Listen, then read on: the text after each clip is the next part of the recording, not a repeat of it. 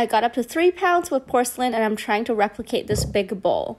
If you've been following along, you know that I recently started working with porcelain, and working with this new clay body definitely takes a bit of practice. But now that I've gotten the hang of it, I started working with larger amounts of clay again, and I actually still really love it. The fact that it's softer makes the centering process more enjoyable for me personally, and it makes shaping fun as well. Although you can see that I made the bowl a little bit too flat there, and I had to try to stand it up again.